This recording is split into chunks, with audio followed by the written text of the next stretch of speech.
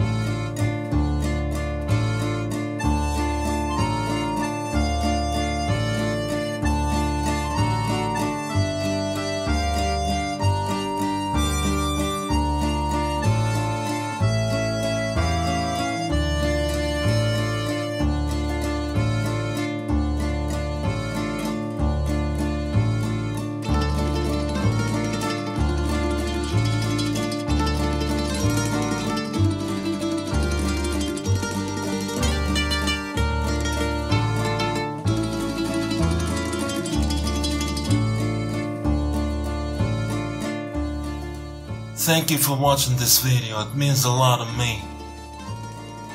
So if you wanna be my friend, please subscribe to my channel and click the bell below to never miss a video like this. Thank you.